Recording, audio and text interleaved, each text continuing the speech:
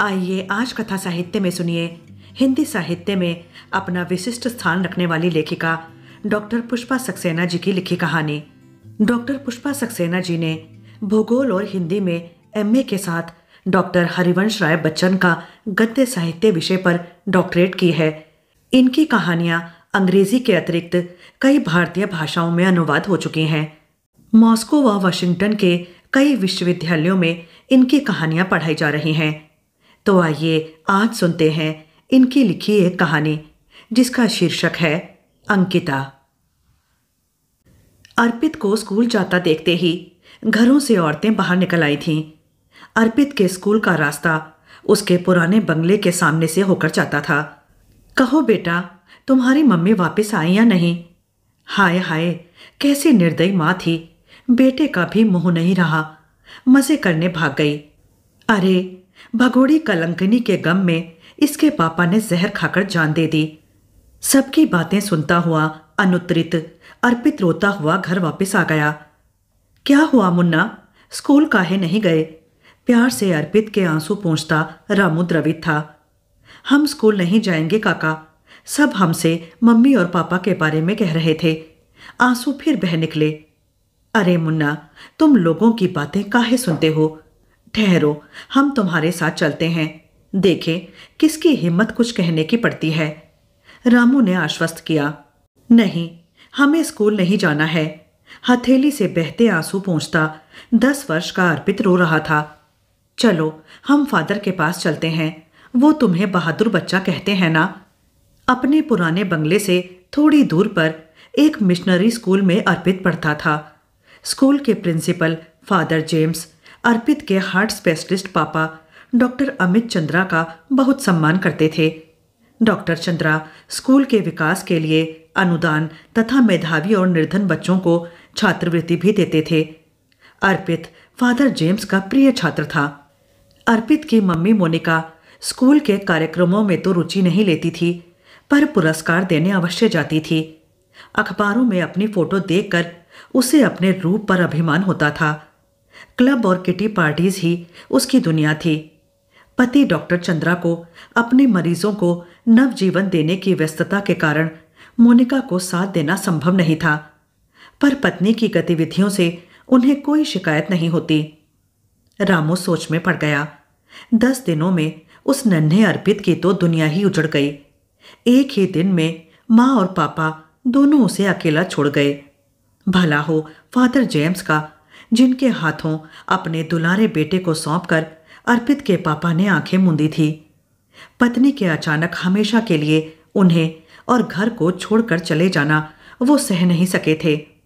मृत्यु के पहले वकील को बुलाकर अपनी वसीयत करके फादर जेम्स को सारी संपत्ति और धनराशि का ट्रस्टी बना दिया था।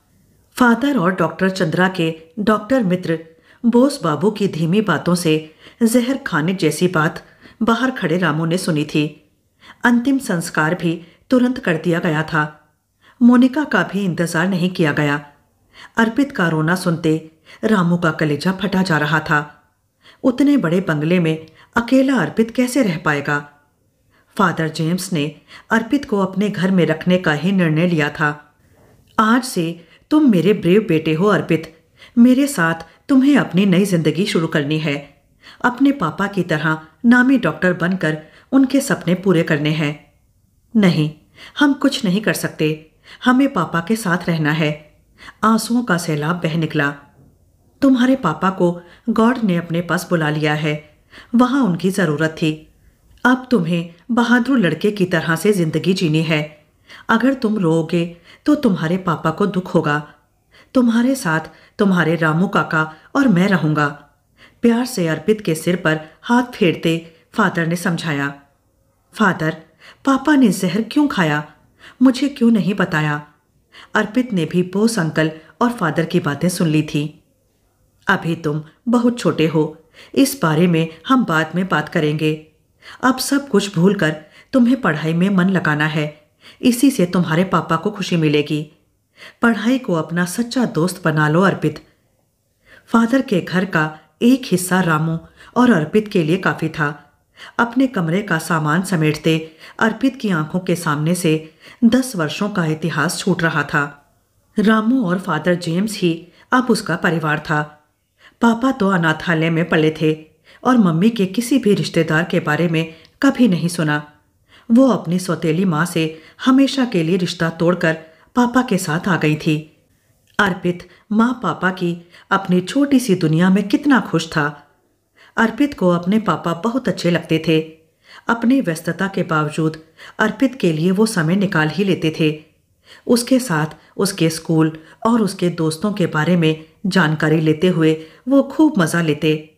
सच तो यह है, उस समय वो एक गंभीर डॉक्टर नहीं, उसके साथ बच्चा बन जाते थे।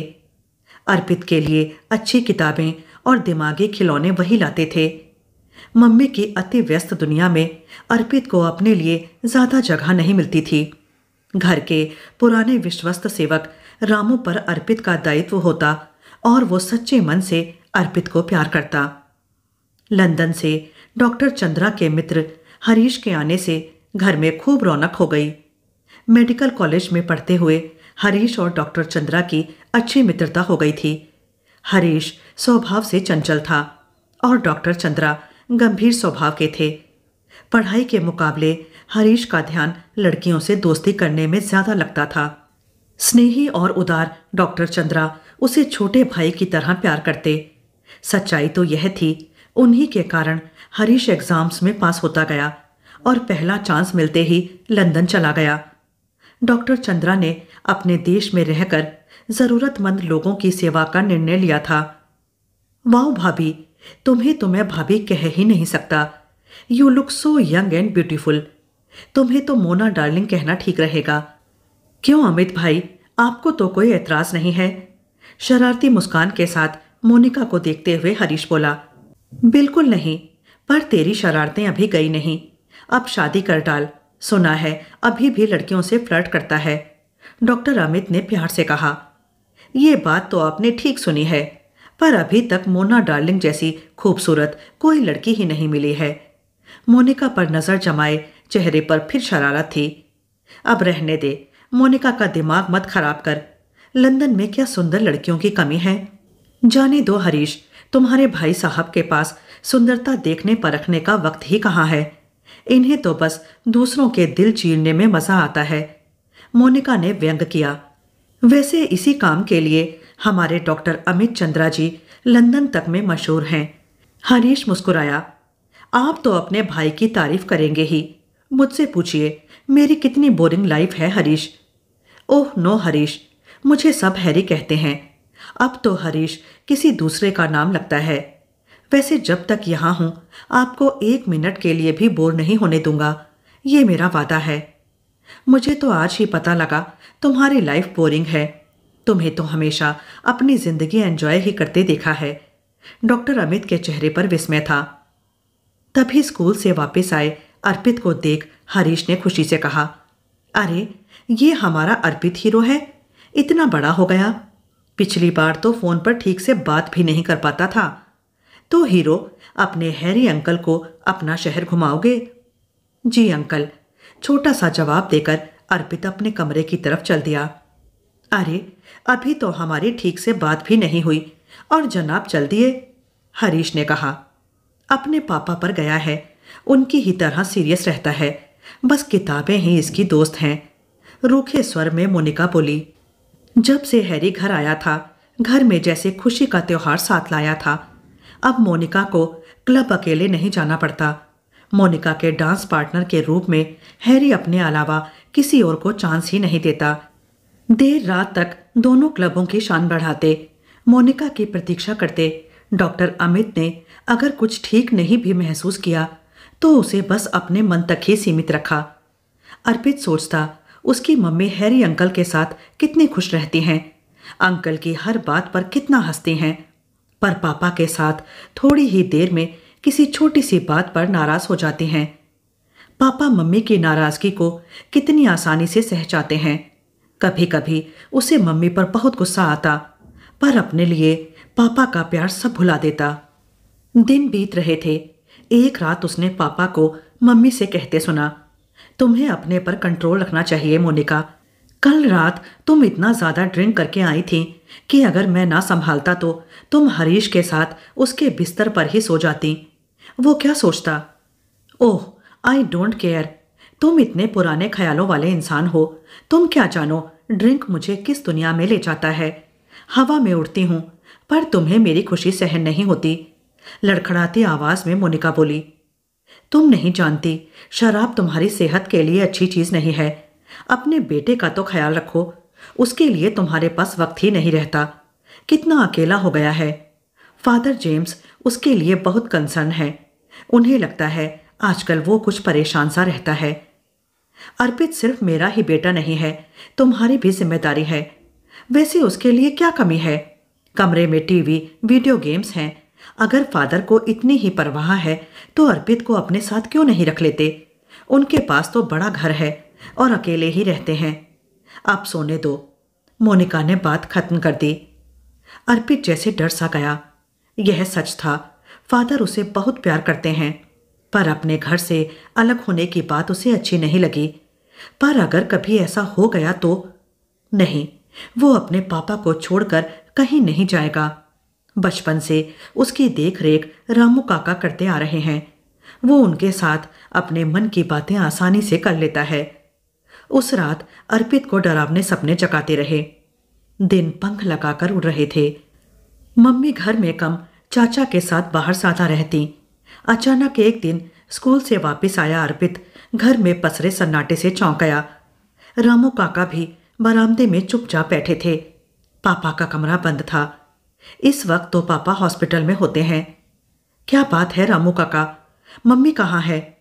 क्या पापा आज हॉस्पिटल नहीं गए? क्या बताएँ बेटा? बहुत गड़बड़ हो गई। तुम्हारी मम्मी भाग गई। मेरा मतलब चली गई। तुम चलो, खाना खा लो। अपने पापा को भी बुला लो। उन्होंने भी खाना नहीं खाया। रामू की आवाज़ में दुख था। अर्पित को जैसे किसी अनहोनी का आभास हो गया था। भागता हुआ पापा के कमरे के बंद दरवाजे पर दस्तक दी थी। कई बार पुकारने पर पापा ने दरवाज़ा खोला था। उनके चेहरे को देख अर्पित डर गया। क्या हुआ पापा? आप हॉस्पिटल क्यों नहीं गए? खाना भी नहीं खाया। कुछ नहीं बेटा, आज भूख नहीं है। तुम खा लो। मुझे कुछ ज़रूरी काम करने हैं। पापा, रामू काका कह रहे हैं, मम्मी हैरी अंकल के साथ चली गई।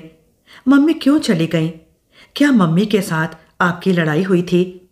वो वापस कब आएँगी? अर्पित रुआसा था। पता नहीं, कहकर डॉक्टर चंद्रा चुप हो गए। हम मम्मी के बिना कैसे रहेंगे? तू तो मेरा बहादुर बेटा है। ये लेटर फादर जेम्स को दे देना। वो सब संभाल लेंगे।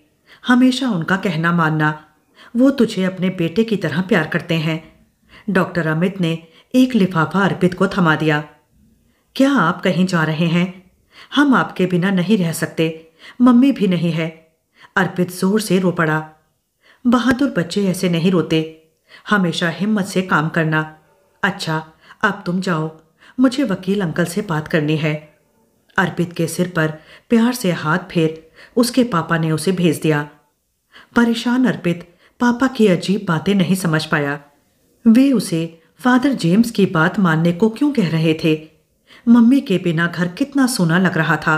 हालाँकि वे उसे ज़्यादा वक्त नहीं देती थीं, पर उनका घर में होना उसे साहस देता था। रोते हुए ना जाने कब आँख लग गई। रामू काका ने झकझोर कर चकाया था। उठो भैया गजब हो गया मालिक चले गए। डॉक्टर साहब कह रहे हैं, दिल का दौरा पड़ा था। वो बचा नहीं सके। रामू रो रहा था। अर्पित बिस्तर छोड़ पापा के कमरे की तरफ़ भागा था। डॉक्टर बोस अंकल और फादर जेम्स धीमे धीमे बातें कर रहे थे। उनकी बातों से अर्पित को पापा के जहर खाने जैसी कोई बात सुनाई दी थी। पर बोस अंकल ने कहा, पापा को दिल का दौरा पड़ा था।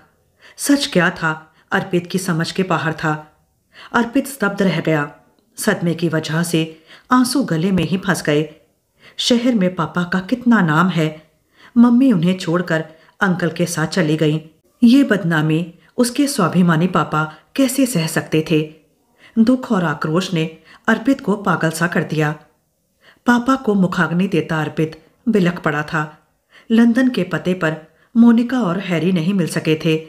उनकी खोज करने का कोई ज़रिया भी नहीं मिल रहा था। आँसू पहुंचकर दृढ़ आवाज़ में अर्पित ने सबके असमंजस को दूर कर दिया था। किसी का भी इंतज़ार करना बेकार है। अब देर करने की ज़रूरत नहीं है। जब फादर जेम्स ने आकर उसके सिर पर प्यार से हाथ फेरा तो उनसे लिपट कर अर्पित ज़ोर से रो पड़ा। अचानक उसे याद आया, पापा ने उसे उन्हें लेटर देने को कहा था। लेटर पढ़ते फादर जेम्स गंभीर हो गए। डोंट वरी माई चाइल्ड, आज से तू मेरा बेटा है। हम दोनों साथ रहेंगे। फादर, अब हम इस घर में नहीं रहेंगे। अर्पित रो रहा था।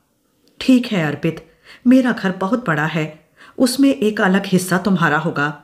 वैसे तुम्हारे पापा ने अपने विल में लिखा है, जब तुम अठारह साल के हो जाओगे, तब तुम उनकी सारी संपत्ति और कैश के हकदार होगे। मुझे उन्होंने तुम्हारा अभिभावक और ट्रस्टी बनाया है। अभी ये बातें तुम नहीं समझ सकोगे। मुझ पर यकीन रखना बेटे, वक्त के साथ सब ठीक हो जाएगा। उनकी आवाज़ में प्यार और करुणा थी। अपने घर से विदा होते अर्पित की आँखों के सामने ना जाने कितने चित्र उभर रहे थे। यादें आंसुओं में बह निकली। अपना कमरा छोड़ता अर्पित एक एक चीज़ को भीगी आँखों से समेट रहा था। फादर जेम्स उसकी मानसिक स्थिति को समझ रहे थे। दस वर्षों का इतिहास मिट रहा था। पुरानी यादों में रामू काका ही उसके साथ जा रहे थे। फादर जेम्स जानते थे, अर्पित उनके साथ कितना जुड़ा हुआ था। अर्पित समझ नहीं पा रहा था। अभी कुछ दिन पहले रोजी की मम्मी रोजी के पापा को तलाक देकर चली गई। पर यह बात रोजी के पापा और दूसरों ने स्वाभाविक रूप से ली थी। मम्मी ऐसे क्यों चुपचाप भाग गई? हाँ रामू काका ने यही तो कहा था। दिन बीतने लगे। फादर जेम्स का स्नेह अर्पित के दुखों पर मरहम का काम कर रहा था। वैसे भी दुख भुलाने के लिए समय ही सबका सहायक बनता है। पढ़ाई में तो अर्पित पहले ही बहुत अच्छा था। अब फादर की गाइडेंस और अपना दुख भुलाने के लिए पढ़ाई ही उसकी साथी थी। लेकिन सहानुभूति जताने के बहाने लोगों की बातें उसे तिलमिला देती। माँ के लिए मन में गहरा आक्रोश उभरता, पर उसे कहाँ, किसके सामने निकाल पाता? कभी सोचता, पापा ने आत्महत्या क्यों की? कम से कम वो तो उसके साथ रहते। अर्पित को क्यों भूल गए? उसे अकेला छोड़ गए। अर्पित अब अंतर्मुखी हो गया था। एक दिन फादर ने कहा, अर्पित माई चाइल्ड तुम्हारी मम्मी तुमसे मिलने आई है। वो तुम्हें अपने साथ लंदन ले जाना चाहती हैं। वेटिंग रूम में तुम्हारे अंकल के साथ तुम्हारा इंतज़ार कर रहे हैं। नहीं, कभी नहीं। वो मेरी माँ नहीं है। मैं उनसे नहीं मिलूँगा। ना उनके साथ लंदन जाऊँगा। अर्पित की आँखें जल रही थी। हाथ की मुठ्ठियाँ भिज गई थीं। तभी मोनिका उसकी आवाज़ सुनकर कमरे में आ गई। अर्पित से कहना चाहा, अर्पित बेटे, तुम यहाँ अकेले कैसे रहोगे? मेरे साथ चलो, मैं तुम्हारी माँ हूँ। नहीं, तुम मेरी माँ नहीं हो। तुमने पापा को मारा है। यहाँ से चली जाओ। मुझे फादर के साथ रहना है। रोता हुआ अर्पित मोनिका को स्तब्ध छोड़कर वहाँ से चला गया। उनके जाने के बाद अर्पित ने फादर से कहा था, प्लीज़ फादर, उन्हें मेरा कोई समाचार नहीं दीजिएगा। मेरा उनसे कोई संबंध नहीं है। ठीक है, मैं तुम्हारे मन की बात समझता हूँ। ऐसा ही होगा। पर अगर कभी तुम्हारा मन बदले तो मुझे बता देना। मेरे पास तुम्हारी माँ अपना पता छोड़ गई है। उसे आशा है एक दिन तुम उसे ज़रूर माफ़ करोगे। फादर ने प्रॉमिस किया। दिन, महीने और साल बीतते गए। अर्पित ने अकेलेपन को अपना लिया था। मित्रों में बस उसकी पुस्तकें, फादर जेम्स और रामू ही उसके साथी थे। उसकी गंभीरता किसी को भी उसके पास आने से रोकती रही। अर्पित को बारहवीं कक्षा में सर्वप्रथम स्थान मिला। उसकी पीठ ठोंकते फादर ने पूछा, अर्पित, अब तुम्हें डिसाइड करना है। आगे तुम क्या करना चाहते हो? फादर, मुझे पापा का सपना पूरा करना है। वे मुझे डॉक्टर बनाना चाहते थे। मैं भी उनकी तरह हार्ट स्पेशलिस्ट बनना चाहता हूँ। दृढ़ आवाज़ में अर्पित ने अपना लक्ष्य बता दिया। मुझे खुशी है, तुम अपने पापा का सपना पूरा करना चाहते हो। मुझे पूरा यकीन है, तुम्हें सफलता मिलेगी। फादर ने विश्वास के साथ उसका हौसला बढ़ाया। मेडिकल कॉलेज में एडमिशन की कोई समस्या ही नहीं थी। एंट्रेंस एग्ज़ाम में भी उसे प्रथम स्थान मिला था।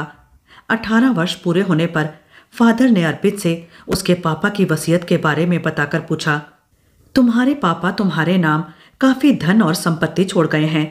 अब तुम जिस तरह चाहो इसका उपयोग कर सकते हो। मुझे कुछ नहीं चाहिए। मेरे घर और धन से अनाथ बच्चों का जीवन बना दीजिए। ऐसा करने से पापा की आत्मा को खुशी मिलेगी। तुम अपने पापा के सच्चे बेटे हो। ऐसा ही होगा। प्यार से फादर ने अर्पित के सिर पर हाथ रखकर कहा, कॉलेज के प्रोफेसर, अर्पित जैसे होनहार विद्यार्थी की क्लास में काफ़ी तारीफ़ करते।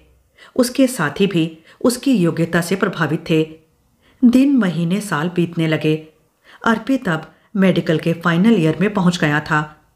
तभी एक दिन एक नई लड़की ने क्लास में प्रवेश लिया था। प्रोफेसर अभी नहीं आए थे। लड़की ने क्लास के सामने खड़े होकर अपना परिचय बिंदास स्टाइल में दिया। हाय गाइस, मैं अंकिता, नवाबों के शहर लखनऊ से आई हूँ। हीरोइन बनने का सपना था, पर पेरेंट्स की जिद की वजह से मेडिसिन कर रही हूँ।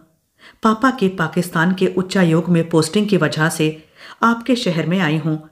इस शहर से पुराना रिश्ता रहा है। कॉलेज में देर से आई हूँ। आपकी हेल्प चाहिए। चेहरे पर मीठी मुस्कान थी। आपके लिए तो जान भी हाजिर है, अंकिता जी। बस हुक्म करते जाइए। शरारती नरेन ने कहा। क्लास में ठहाके गूंज उठे। तभी प्रोफेसर वर्मा के आने से सब चुप हो गए। अंकिता ने अपने बैठने के लिए निगाह दौड़ाई। अर्पित के साथ खाली जगह देखकर अंकिता निसंकोच अर्पित के पास जाकर बैठ गई। अर्पित हल्के संकोच के साथ थोड़ा और सिमट गया। पीछे से रजत ने रिमार्क दिया, वाह, क्या जगह चुनी है।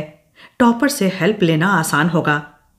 क्लास खत्म होने के बाद अंकिता ने अर्पित से कहा, कुछ देर पहले आपकी तारीफ़ सुनी। आप टॉपर हैं, मेरी हेल्प तो करेंगे। तारीफ़ लायक तो कुछ नहीं है, बस अर्पित हूँ। हाँ किसी की भी हेल्प करना मेरा फ़र्ज़ है। अर्पित, आप ही हर बैच के टॉपर हैं, तब तो तारीफ़ लायक हुए ना। फ़र्ज़ निभाने के लिए तहे दिल से शुक्रिया। वैसे हम लखनऊ के हैं। हमारी बातों में लखनवी अंदाज तो होना ही चाहिए। वो मुस्कुरा दी। घर वापस आया अर्पित। अंकिता की बेबाक बातों को सोचकर मुस्कुरा दिया। ये भी क्या बताने की बात थी कि वो हीरोइन बनना चाहती थी। वैसे शायद वो एक अच्छी हीरोइन बन सकती थी। अचानक अपनी सोच पर अंकित चौंक गया। वो क्यों किसी लड़की की फिजूल की बातों के बारे में सोच रहा था? दूसरे दिन अर्पित को देखते ही अंकिता के चेहरे पर खुशी खिलाई। पहले दिन की तरह ही आज भी वो निसंकोच अर्पित के पास बैठ गई। अचानक अर्पित की फ़ाइल पर उसकी लिखाई देखकर कह बैठी, आपकी लिखाई बहुत अच्छी है। हालाँकि डॉक्टर्स अपनी खराब लिखाई के लिए मशहूर होते हैं। ऐसी कोई बात नहीं है। मेरे पापा की लिखाई भी बहुत अच्छी थी। क्या आपके पापा डॉक्टर हैं? इसीलिए आपको उनकी इतनी अच्छी गाइडेंस मिली है। मेरे पापा मुझे गाइड करने के पहले ही चले गए। अर्पित का चेहरा अवसादपूर्ण था। ओह सॉरी आपकी माँ आपके साथ रहती हैं। मेरी कोई माँ नहीं है। फादर जेम्स ही मेरे सब कुछ हैं।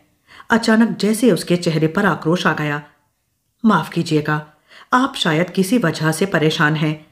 क्या हम दोनों दोस्त बन सकते हैं? मेरी किसी के साथ ना दोस्ती है, ना दुश्मनी। हम क्लास के साथी हैं। क्या इतना ही काफ़ी नहीं है? अर्पित ने रूखी आवाज़ में कहा यह बात आप जैसे जीनियस के लिए भले ही काफ़ी हो, पर हमें तो दोस्त के बिना ज़िंदगी ही बेगानी लगती है। कोई तो ऐसा होना ही चाहिए जिसके साथ दिल खोल कर बात की जा सके। बाय द वे, क्या हम रोज आपके साथ इस बेंच पर बैठ सकते हैं? चेहरे पर वही मीठी मुस्कान खिली थी। ये बेंच मेरी प्रॉपर्टी नहीं है, जहाँ जी चाहे बैठ सकती हैं। आप लड़कियों से दोस्ती क्यों नहीं कर लेती? कहकर अर्पित चुप हो गया। हमें लगता है कि लड़कियाँ शायद हमें पसंद नहीं करती। उन्हें लगता है हम पढ़ाई के लिए सीरियस नहीं हैं। मासूमियत से अंकिता ने कहा, ऐसा तो मुझे भी लगा जब आपने दिल खोलकर अपनी बात कही थी। इसका मतलब आपने हमारी बातें सच मान ली। फॉर योर इन्फॉर्मेशन हम टॉपर भले ही नहीं हैं, पर हमेशा फ़र्स्ट डिविजनर रहे हैं। उसके सुंदर मुख पर हल्का सा गर्व छलक आया प्रोफेसर कुमार के आते ही क्लास में शांति छा गई। अगले दिन अंकिता बड़े आराम से अर्पित के साथ बेंच पर बैठ गई। अब जबकि ये बेंच जगह आपकी प्रॉपर्टी नहीं है तो इस जगह पर अपना अधिकार जमा सकती हूँ। कोई ऑब्जेक्शन तो नहीं है। शरारती मुस्कान चेहरे को और कमनीय बना गई थी।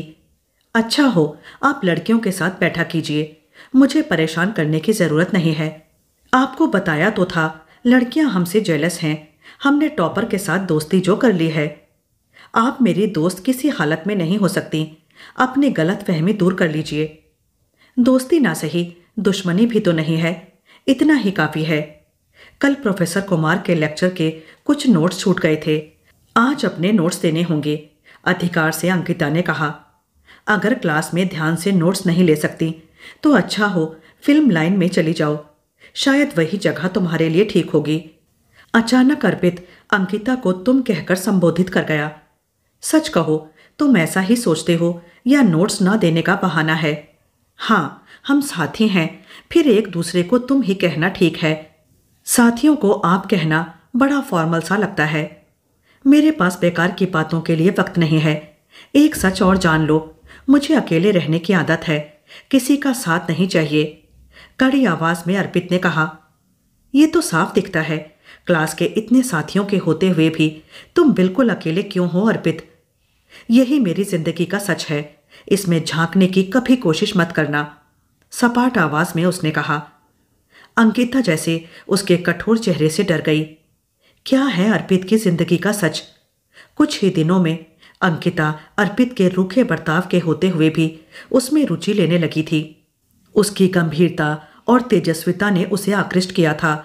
जो भी हो, वो अर्पित की ज़िंदगी का सच जानने की कोशिश ज़रूर करेगी। शायद फादर जेम्स के पास उसके जीवन का सच सुरक्षित है। एक दिन क्लास के बाद बारिश होने लगी थी। अंकिता बारिश से बेपरवाह, हल्की बूंदों का आनंद लेती, हॉस्टल के लिए पैदल ही चल दी साइकिल पर जा रहे दो लड़कों को यह नज़ारा देख मस्ती करने की सूझी। साइकिल से उतरकर अंकिता के दाएँ बाएँ चलते हुए कुछ उल्टे सीधे रिमार्क्स देने की हिमाकत कर बैठे। अंकिता ने रुककर एक की कमीज का कॉलर पकड़, उसके चेहरे पर ज़ोर का तमाचा लगाकर शांति से कहा, चल, तेरी साइकिल पर तेरे घर चलती हूँ। घर में माँ बहन तो होंगी। इस मौसम में उनके हाथ की चाय और पकौड़ी तो मिलेगी। उन्हें भी तो पता लगना चाहिए तो कितना बड़ा हीरो है। सक पकाकर दोनों अपनी साइकिलें लेकर भाग लिए। पीछे से आ रहे लोगों का इस दृश्य ने अच्छा मनोरंजन किया। साथ की लड़कियों ने भी अंकिता के साहस की तारीफ़ की थी। तुम्हारी हिम्मत से हमें भी साहस मिला है। हमें भी ऐसे ही इन जैसों को तुम्हारी ही तरह ठीक करना चाहिए। ऐसे गुंडों की वजह से हमारा अकेले आना जाना मुश्किल हो गया है। समय बीतने लगा। फाइनल एग्ज़ाम्स के लिए कुछ ही समय रह गया था। थ्योरी क्लास के साथ प्रैक्टिकल चल रहे थे। सीनियर रेजिडेंट्स और प्रोफेसरों के साथ वार्ड के मरीजों की केस हिस्ट्री और रिपोर्ट देखना और समझना होता था। अक्सर वार्ड के राउंड के समय अंकिता भी अर्पित के साथ होती। अर्पित की जानकारी और उसके उत्तर प्रोफेसरों को प्रभावित करते। उसकी बनाई पेशेंट्स की केस हिस्ट्री देखकर प्रोफेसर कांत दूसरे स्टूडेंट्स के सामने अर्पित की तारीफ़ करते हुए कहते, मुझे पूरा यकीन है, अर्पित एक दिन बहुत सफल कार्डियोलॉजिस्ट बनेगा। एक दिन एक बच्चे को बेड पर अकेले रोता देख अंकिता बच्चे के पास जाकर प्यार से बोली, क्या हुआ? क्यों रो रहे हो? अच्छे बच्चे ऐसे नहीं रोते। क्या मम्मी की याद आ रही है? हो सकता है इसे माँ की याद नहीं, बल्कि उससे जुड़ी कोई दुखद बात याद आ रही हो, अजीब स्वर में अर्पित ने कहा। कमाल करते हो। भला माँ से जुड़ी कोई बात तकलीफ़ कैसे दे सकती है? अंकिता विस्मित थी। कभी कभी कोई ऐसी बात बच्चे की ज़िंदगी ही खत्म कर देती है। तुम नहीं समझोगी। अंकिता सोच में पड़ गई। क्या रहस्य है जिसने अर्पित को इतना कटु बना दिया है? फादर जेम्स के पास से वो रहस्य पता करना होगा। एक दिन अचानक अंकिता को अपने सामने आया देखकर फादर चौंक गए। यस माई डियर, तुम्हें क्या कहना है? क्या कोई परेशानी है? प्यार से फादर ने पूछा। अपना परिचय देकर अंकिता ने सीधे शब्दों में कहा था, फादर, आपका बेटा अर्पित एक जीनियस है, पर वो सामान्य लड़कों जैसा नहीं है। ऐसा लगता है जैसे उसके मन में कोई गहरा दुख छिपा हुआ है। हमें उसके साथ हमदर्दी है। क्या आप बताएँगे वो ऐसा क्यों है? आशापूर्ण दृष्टि फादर के चेहरे पर निबद्ध थी। तुम अर्पित को कब से जानती हो? अभी कुछ महीने ही हुए हैं, पर ऐसा लगता है मानो बहुत पहले से जानती हूँ। कुछ और समय बीतने दो, शायद उसे जान सको। इतनी जल्दी किसी को जान पाना संभव नहीं होता। हमारा मानना है, किसी के साथ कुछ समय का परिचय भी वर्षों पुराना सा लगता है। अंकिता की आवाज़ में विश्वास था। शायद तुम ठीक कहती हो। मुझे खुशी है, तुम अर्पित को जानना चाहती हो। इसके लिए इंतज़ार करो। अगर कभी उसके दिल के पास जा सकें तो वो खुद तुम्हें सब बता सकेगा। अगर तुम उसकी सच्ची दोस्त बन सकें तो मुझे भी खुशी होगी। अब मेरी प्रेयर का समय हो रहा है। God bless you. फादर चले गए। बाहर निकल रही अंकिता का सामना रामू से हो गया। तुम कौन हो बेटी? किससे मिलने आई थी? स्नेह से रामू ने पूछा। क्या आप इसी घर में रहते हैं? हम फादर के पास आए थे। अंकिता ने आदर से जवाब दिया। हाँ हम और मुन्ना मतलब अर्पित बेटा इसी घर में रहते हैं। आप अर्पित के साथ कब से रहते हैं? हम अर्पित के दोस्त हैं, उनके साथ पढ़ते हैं। अरे, हमने ही तो पाँच बरस के मुन्ना को पाल पोस कर इतना बड़ा किया है। तुम मुन्ना के दोस्त हो, अब तुम्हें ऐसे वापस नहीं जाने देंगे। आओ, कुछ खा पी कर जाना। ठीक है, काका। घर भीतर से सुव्यवस्थित था। एक कुर्सी पर बैठ अंकिता ने रामू से वही सवाल दोहराया, जिसका उत्तर वो फादर से जानना चाहती थी। हमें बहुत खुशी है तुम हमारे मुन्ना की दोस्त हो और उसकी उदासी दूर करना चाहती हो। मुन्ना एक हँसते खेलते परिवार का इकलौता बेटा था। बुरा हो उस हरीश का, जिसने इस घर को आग लगा दी और हमारे मुन्ना को अनाथ बना दिया। दुखी स्वर में रामू ने कहा, ऐसा क्या हुआ काका? आप हम पर भरोसा रखिए। हम आपकी बेटी जैसे हैं। हम मुन्ना का दुख दूर करना चाहते हैं। उसे ज़िंदगी में खुशियाँ देना चाहते हैं। इसीलिए हम फादर से बात करने आए थे। आपके साथ हमारी बातों के बारे में अर्पित को कुछ मत बताइएगा। अगर तुम सच कह रही हो तो हम तुम्हें पूरी बात बताते हैं, बेटी। रामू ने अर्पित की माँ के घर छोड़कर जाने और पिता की मृत्यु की कहानी सुनाते हुए कई बार पनियाई आँखें अपनी धोती की खूंट से पहुँची अंकिता चाय का सिप लेते हुए रामू की बातें सुन रही थी। दस वर्ष के बालक के असहनीय दुख की कल्पना से उसके नयन भी भर आए। जानती हो बेटी, दस बरस का मुन्ना एक और माँ बाप के बिछोह का दुख सह रहा था।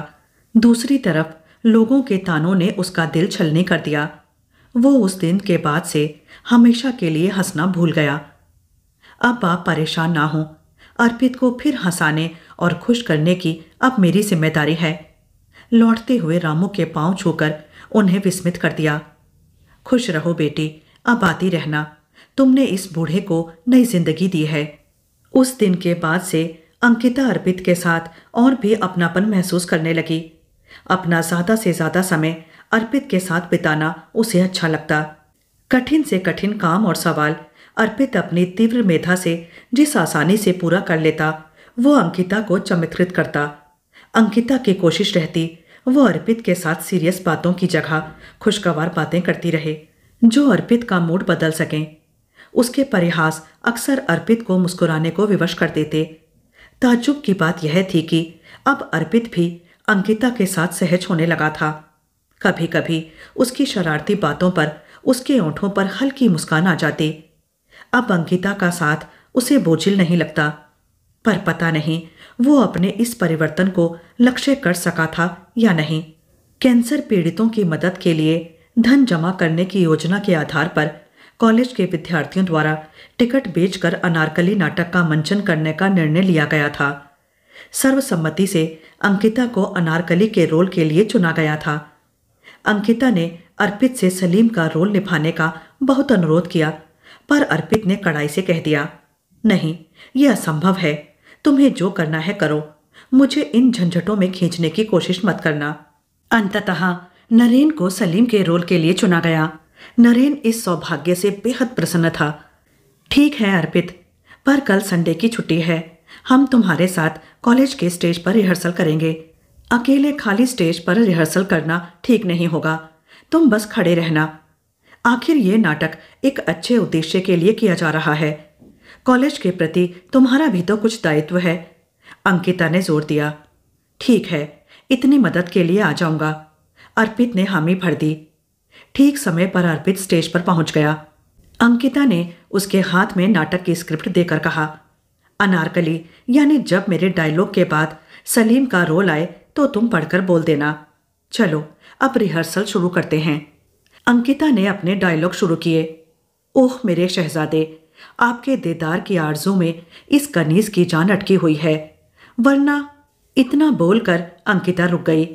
अर्पित की तरफ़ स्क्रिप्ट बढ़ाकर कहा, अर्पित, तुम्हें शहजादे सलीम का रोल यहाँ से पढ़कर कहना है। ऐसा ना कहो मेरी जान। ये क्या बकवास है? तुमने आने को कहा था। इसका मतलब ये नहीं कि मैं नाटक करूँगा। अर्पित आक्रोश में आ गया था। नाराज़ क्यों होते हो मेरे शहजादे? ये नाचीज तो आप पर कुर्बान है। अंकिता हंस रही थी। मैं जा रहा हूँ, याद रखो, मुझे ऐसे मज़ाक पसंद नहीं है, अर्पित ने नाराज़गी से कहा। किसने कहा यह मज़ाक है? तुम तो मेरे सलीम बन चुके हो, अर्पित। सच पता नहीं कब और कैसे हम तुम्हें चाहने लगे हैं। तुम्हारी गंभीरता, तेजस्विता, मेधा ने आकृष्ट किया और तुम हमारी चाहत बन गए। अंकिता ने गंभीरता से कहा। ये कैसी बातें कर रही हो? मुझे नाटकों की भाषा बिल्कुल पसंद नहीं। अगर मेरा अतीत जान पाती तो मुझसे नफरत करती। बात कहते हुए अर्पित जैसे कहीं खोसा गया। हम अतीत में नहीं, वर्तमान में जीते हैं। जानते हो, अतीत को भूतकाल कहा जाता है। यानी उसे भूलने में ही जीवन है। तुम्हारा अतीत कुछ भी रहा हो, अब तुम मेरे वर्तमान और भविष्य हो। हम दोनों मिलकर इसे खुशियों से भर देंगे। नफरत तो हमारे बीच सांस ले ही नहीं सकती, अंकिता ने विश्वास से कहा। तुम एक लड़की हो। ऐसी बातें किसी अच्छी लड़की को शोभा नहीं देती। अर्पित ने नाराज़गी से कहा, हम आज की लड़की हैं, साफ़ दिल के हैं और सच्ची बात कहने में जरा भी नहीं हिचकते। हम तुम्हें प्यार करने लगे हैं, ये सच्चाई है। वैसे हमारे स्वभाव के बारे में इतना तो तुम जान ही चुके हो। मेरी प्यार शब्द पर आस्था नहीं है, उस पर विश्वास करना मूर्खता है। अगर प्यार में शक्ति होती तो मेरी माँ मेरे इतना प्यार करने वाले पापा को छोड़कर किसी और के साथ क्यों जाती? अर्पित अचानक अपने जीवन का कड़वा सच कह गया। सिर्फ़ इसीलिए तुम्हारा प्यार से विश्वास उठ गया है, क्योंकि तुम्हारी माँ ने अपने मनपसंद जीने की राह चुन ली। एक बात बताओ, एक विवाहित पुरुष किसी पराई स्त्री के साथ विवाहितर संबंध बनाए रख सकता है? जब पत्नी से मन भर जाए उसे छोड़कर दूसरा विवाह कर सकता है। तो एक स्त्री अपना मनपसंद साथी क्यों नहीं चुन सकती? अंकिता ने अर्पित से सवाल किया। तुम नहीं जानती, पापा उन्हें कितना प्यार करते थे। पापा ने मम्मी की किसी बात की कभी शिकायत नहीं की।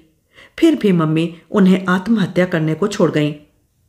एक कड़वा सच यह है कि तुम्हारे पापा स्वार्थी और कायर थे। उनका अहम सबसे ऊपर था। वरना अपने दस साल के बेटे के बारे में कुछ नहीं सोचा। समाज में अपने अपमान की बात तो सोची, पर मासूम बेटे को भुलाकर स्वयं आत्महत्या करके मुक्त हो गए। अगर संभव हो, मेरी बातों को शांति से सोचना। कुछ तेज़ी से अंकिता ने अपनी बात कही। तुम जो कह रही हो, ये सच नहीं है। मेरे पापा कायर और स्वार्थी नहीं थे। अर्पित बेचैन हो उठा। तुम जो सोचते हो सोचो। मेरी सोच अलग है। खैर तुम्हारे मन से तुम्हारे पापा की छवि धूमिल नहीं करना चाहती। पर अपनी माँ के साथ अन्याय कर रहे हो। सच कहो, क्या तुम्हें कभी अपनी माँ याद नहीं आती? एक बात कहूँ, नाराज़ मत होना। तुम्हारे साथ शादी के बाद तुम्हारी माँ से आशीर्वाद लेने तुम्हें खींच कर उनके पास ले जाऊँगी। अंकिता ने मुस्कुराकर कहा, एक सच मुझसे भी जान लो, ना कभी हमारी शादी होगी, ना ही तुम्हारे सपने सच होंगे। तुमने तो मेरी सोच पर बहुत चोट पहुंचाई है, अंकिता। अपनी सोच को बदल पाना आसान नहीं है। इसीलिए कहता हूँ, मुझे छोड़ दो। हमारा मिलन असंभव है। सॉरी, हमारी डिक्शनरी में असंभव शब्द है ही नहीं। तुम्हें भी हमारी बात माननी ही होगी। अब तो ये अंकिता तुम्हारी बन चुकी है, अर्पित। मेरी इच्छा के विरुद्ध मुझसे कोई काम नहीं करा सकता। यकीन से अर्पित ने कहा यह बात तो समय आने पर ही पता लगेगी। हमें तो पूरा यकीन है, हम तुम्हारी अंकिता ज़रूर बनेंगे। मुस्कुराती अंकिता ने कहा, तुम मेरे साथ विवाह के सपने मत देखो। मेरा अतीत तुम्हारे पेरेंट्स को कभी स्वीकार नहीं होगा। हम अपने को भी जानते हैं और अपने पेरेंट्स को भी जानते हैं। शादी का फैसला हम दोनों का होगा। उसमें उन्हें कोई एतराज़ कैसे हो सकता है? हम दोनों बालिक हैं, अपना भला बुरा समझते हैं। वैसे भी हमारे पापा मम्मी को अपनी बेटी के निर्णय पर पूरा यकीन रहता है। उनका तो बस आशीर्वाद होगा। तुम सपनों की दुनिया में जीती हो, अंकिता। मैं भविष्य में नहीं, अपने अतीत के साथ जीता हूँ। अपने अतीत का काला कंबल कब तक ढोते रहोगे अर्पित? अब इसे उतरवा के रहूँगी, ये मेरा वादा है। अब नाटक की तैयारी के लिए जा रही हूँ। अंकिता, नाटक में अभिनय की तैयारी पूरे मन से कर रही थी। अंकिता ने अर्पित को नाटक देखने जाने को तैयार कर लिया था। पहले ही दृश्य में अंकिता छा गई। अपने अभिनय, सौंदर्य और परिधान से उसने अनारकली को साकार कर दिया था। उस दिन पहली बार अर्पित को अंकिता के विषय में पता चला कि अपनी दूसरी क्वालिटीज के साथ वो एक बहुत अच्छी नृत्यांगना भी है। नाटक की समाप्ति पर हॉल तालियों से गूंज उठा। नाटक देखने आने के लिए थैंक्स वैसे तुम्हें मेरा एक्टिंग कैसा लगा अर्पित? अंकिता ने धीमे से पूछा। ये तो जानता था तुम अच्छी अभिनेत्री हो। कोई और लड़की तुमसे ज़्यादा अच्छा एक्टिंग शायद ही कर पाती। अर्पित ने सच्चाई से कहा, वाह, आज तो मेरा जीवन सफल हो गया। अनारकली ने सलीम को इम्प्रेस कर ही लिया। उस रात अर्पित ना चाहते हुए भी अंकिता के विषय में सोचता रह गया। उसकी बातें भुला पाना संभव नहीं था। यह सच था, अंकिता अगर फ़िल्मों में जाती तो टॉप की हीरोइन होती। वो बिना किसी हिचक के अपने मन की बात साफ़ साफ़ कह जाती है। क्या वो सचमुच अर्पित को चाहने लगी है? अपने पापा और मम्मी से बिना डरे अपनी राय दे दी। अचानक अर्पित को अपनी माँ याद आने लगी। जब वो अच्छे मूड में होती थी तो अर्पित को कितना प्यार करती थी। पापा की मृत्यु के बाद भी वो उसे अपने साथ ले जाने आई थी। और पापा, क्या वो कायर थे? शायद मम्मी को डर था। तलाक मांगने पर वो मम्मी को तलाक नहीं देते। इसीलिए मम्मी ने यह राह चुनी होगी। बहुत देर बाद वो सो सका था। फ़ोन की घंटी से उसकी नींद टूटी। फ़ोन पर रजत था। अर्पित, बहुत बुरी खबर है। अंकिता का सीरियस एक्सीडेंट हो गया है। वो आईसीयू में है। क्या? कैसे? जवाब बिना सुने किसी तरह बदहावास अर्पित हॉस्पिटल पहुँचा था। आईसीयू में अंकिता बेहोश थी। माथे पर पट्टी बंधी हुई थी। अर्पित व्याकुल हो उठा। वहाँ खड़े लड़कों ने बताया, कॉलेज आते समय अंकिता की रिक्शा से तेज गति से आ रही ऑटो रिक्शा टकरा गया। गनीमत है, अंकिता उछलकर दूर जा गिरी, वरना ऑटो रिक्शा उस पर चढ़ जाता। उस दृश्य की कल्पना से अर्पित काँप उठा। डॉक्टर, अंकिता कैसी है? वो सीरियस तो नहीं है। एक सांस में अर्पित डॉक्टर सिन्हा से पूछ बैठा। हैव पेशेंस तुम तो खुद एक डॉक्टर हो, अर्पित। जब तक पेशेंट को होश नहीं आ जाता, कुछ नहीं कहा जा सकता। God bless her. उसके पेरेंट्स को इन्फॉर्म कर दिया है। डॉक्टर चले गए। अर्पित ने सा बैठ गया। अंकिता की एक एक बात याद आ रही थी। क्या वो खुद भी उसे नहीं चाहने लगा था? उसका साथ कितना जीवंत हुआ करता है। अनजाने ही अंकिता उसके जीवन में स्थायी जगह बना चुकी है। स्पष्ट समझ में आ रहा था। अंकिता के बिना जीवन की कल्पना भी असंभव है। पूरे दिन बिना खाए पिए अर्पित निश्चल बैठा था। रजत नरेंद्र सागर के कहने पर मुश्किल से एक कप चाय गले से नीचे उतारी थी। सबकी समझ में आ गया था। अर्पित का अंकिता के साथ दोस्ती से ज़्यादा कुछ और ही रिश्ता बन चुका है। सब अंकिता के लिए मौन प्रार्थना कर रहे थे। शाम की फ़्लाइट से अंकिता के पेरेंट्स आ गए। और ये संयोग ही था कि उनके आते ही अंकिता ने आँखें खोली थीं। नर्स ने तुरंत डॉक्टर को बुलाया था। अर्पित हाल जानने को आगे बढ़ाया। डॉक्टर अर्पित, खतरे की कोई बात नहीं है। चोट गहरी नहीं थी। सदमे से बेहोश हो गई थी। She is fine senior doctor Sinha ने आश्वस्त किया। अर्पित और अंकिता के पेरेंट्स के चेहरों पर आशा और खुशी की चमक आ गई। आदर से अंकिता के पेरेंट्स को अपना परिचय देते ही अंकिता की माँ ने प्यार से कहा तुम्हें अपना परिचय देने की ज़रूरत नहीं है, अर्पित। अंकिता ने तुम्हारे बारे में सब कुछ बताया है। हम तो तुमसे मिलने आने ही वाले थे, पर आज अचानक आना हो गया। अर्पित के साथ अपने मम्मी पापा को देखती अंकिता खुश हो गई। सॉरी मम्मी पापा, मेरी वजह से आपको आना पड़ गया। अर्पित, तुम इतने परेशान क्यों दिख रहे हो? तुमने तो मेरी जान ही ले ली थी। पता नहीं क्या क्या सोच बैठा था। अपनी इस हालत का मतलब जनाब समझ पाए या नहीं? मम्मी, कहने को ये जीनियस डॉक्टर हैं। हार्ट स्पेशलिस्ट बनने चला है, पर अपने दिल की बात ही नहीं समझता। अंकिता ने मज़ाक किया। ऐसा ही होता है बेटी। उम्मीद है तेरे एक्सीडेंट ने इसे इसके दिल का राज खोल दिया। सुना है सवेरे से भूखा प्यासा तेरी सलामती की प्रार्थना कर रहा है। अंकिता के पापा ने हंसकर कहा, अर्पित तुम मम्मी पापा को अपने कॉलेज की कैंटीन में ले जाओ। हमें पता है, मम्मी पापा ने भी कुछ नहीं खाया होगा। मम्मी, अर्पित को भी कुछ खिला देना। मम्मी, इन जनाब का चेहरा सूख गया है, वरना शहजादे सलीम दिखते हैं। हंसती अंकिता ने अर्पित को चिढ़ाया। चुप रहे, इस वक्त भी शरारत से बाज नहीं आ रही है। अर्पित, ये मेरी बेटी बड़ी साफ़ दिल की लड़की है, इसकी बातों पर नाराज़ तो नहीं होते? जी नहीं अंकिता को समझता हूँ। धीमे से अर्पित ने कहा, रात में अंकिता को डिस्चार्ज कर दिया गया। अंकिता और उसके मम्मी पापा के साथ पाँच सितारा होटल में अर्पित को भी जाना पड़ा। अंकिता के पापा की पोजीशन की वजह से उन्हें विशेष सम्मान दिया जा रहा था। डिनर के बाद कमरे में पहुँच अंकिता की मम्मी ने अर्पित से पूछा, अर्पित बेटे, एक महीने बाद तुम दोनों फाइनल ईयर पूरा कर लोगे। उसके बाद तो बस एक वर्ष की इंटर्नशिप ही करनी है। हमारी बेटी तुम्हें बहुत चाहती है। क्या तुम उसे अपनी जीवन संगिनी के रूप में स्वीकार करोगे? अभी मैं इस विषय में कुछ नहीं सोच सका हूँ। मैं एमएस करना चाहता हूँ। वैसे शायद आप मेरा अतीत नहीं जानती, वरना आप ये प्रस्ताव नहीं रखती। संकोच से अर्पित ने कहा एमएस तो अंकिता भी करेगी, पर उसके लिए तुम दोनों की शादी बंधन नहीं बनेगी। बल्कि दोनों साथ साथ पढ़ाई पूरी कर लोगे।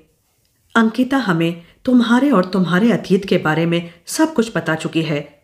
तुम्हें अपने मन में अतीत से कोई शिकायत नहीं रखनी चाहिए। अंकिता के पापा ने गंभीरता से अपनी बात कही। हाँ बेटे, तुम्हारे साथ जो हुआ दुखद था, पर उसे भुलाने में ही समझदारी है। माँ ने भी हामी भरी। वाह मम्मी पापा ये आप क्या कह रहे हैं? अर्पित ने तो पूरी ज़िंदगी अतीत की काली कमली ओढ़े रखने की ठान रखी है। अगर उसे उतार दिया तो ज़िंदगी क्या बेमानी नहीं हो जाएगी? क्यों? अर्पित ठीक कहा ना। अंकिता ने सीधा व्यंग किया। एक बात जान लो, मेरी बेटी अंकिता जो ठान लेती है, उसे पूरा करके ही छोड़ती है। मुझे पूरा यकीन है, अगर तुम अपने अतीत से छुटकारा पाना चाहते हो तो अंकिता ही उसकी दवा है, पापा ने कहा। आप लोग बेकार परेशान हैं। अर्पित मेरे लिए भूखा प्यासा पूरे दिन बैठा रहा। क्या यह इस बात का प्रमाण नहीं है कि जनाब अर्पित भी मुझे बेहद चाहते हैं? ये अपने मन की बात नहीं, मानने की जिद करता है। पर असल में तो हम इसके मन को जानते हैं। क्यों अर्पित, इस सच को तो स्वीकार करोगे? या कह दो, ये झूठ है? अंकिता ने सीधी दृष्टि अर्पित पर डाल गंभीरता से कहा। मानता हूँ, अपने मन को नहीं समझ पाया। ये तुमसे हार गया, अंकिता। हाँ तुम्हारी जीत पर मुझे खुशी है। तुमने जो सपने देखे, अपने अतीत के कारण मुझे उन पर विश्वास नहीं था। पर तुमने जो कहा, सच कर दिया। तुम्हारा आभारी हूँ, अंकिता। अर्पित के चेहरे पर खुशी की आभा थी। अंकिता, तेरे एक्सीडेंट की वजह से हमें आना पड़ा। पर तूने जिसे अपना जीवन साथी के रूप में चुना, उसे स्वीकार करते बहुत खुशी है। हमारा आशीर्वाद हमेशा तुम दोनों के लिए रहेगा। पापा ने खुशी से कहा यह हमारा सौभाग्य है अर्पित, कि हमें तुम्हारा जैसा योग्य बेटा मिला है। हमें अंकिता के चुनाव पर हमेशा यकीन रहा है। तुम्हारे साथ हमारा परिवार पूर्ण हो गया। हमारी अंकिता अब तुम्हारी हुई। मम्मी के सजन नयनों में प्यार था। अर्पित, अब पापा मम्मी का आशीर्वाद तो चरण स्पर्श करके ले लो, या ये भी बताना होगा। हँसते हुए अंकिता ने कहा मम्मी पापा के चरण छूने को झुके अर्पित को पापा ने प्यार से अपने सीने से लगा लिया।